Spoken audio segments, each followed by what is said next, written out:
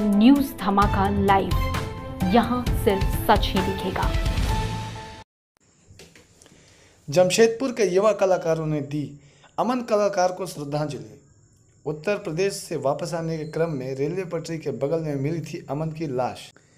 एक छोटे से परिवार का लड़का, अमन कलाकार, जो कि जमशेदपुर के छाया नगर में रहता था, जिसके रैप की दुनिया दीवानी हो रही थी।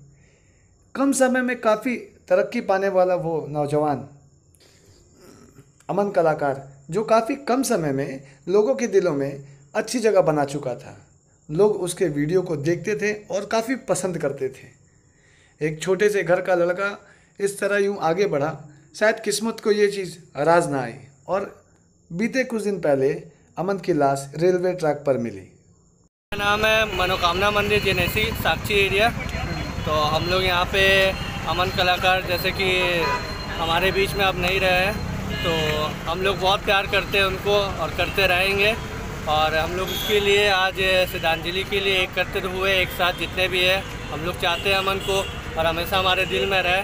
तो हम लोग एक साथ मिल के हम लोग उसका कैंडल मार्च करेंगे यहाँ से और हम लोग यहाँ साक्षी से जाएँगे बड़ा गोल चक्कर तक और वहाँ पे हम लोग जाके मौन करेंगे, शांति करेंगे और प्रेयर करेंगे। अमन की आत्मा को शांति मिले। कैसे हुआ था?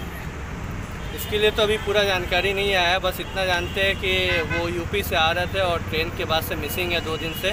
तो परसों रिपोर्ट आया कि उनकी बॉडी मिल गई है। तो उसके बाद कल उनका अंतिम संस्कार कर दिया गया है वहीं उड़ीसा में।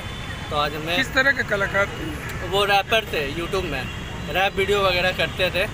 तो बहुत अच्छा फ़ेमस भी हो गए थे और एक साल रहते तो आज झारखंड को और आगे लेके जाते और बहुत नाम कमाते कहाँ के रहने वाले थे? वो यहीं जमशेदपुर के रहने वाले हैं और कासीडी में उनका घर है और बहुत अच्छे आप आपका शुभ नाम? मेरा शुभ नाम रजत सिंह है।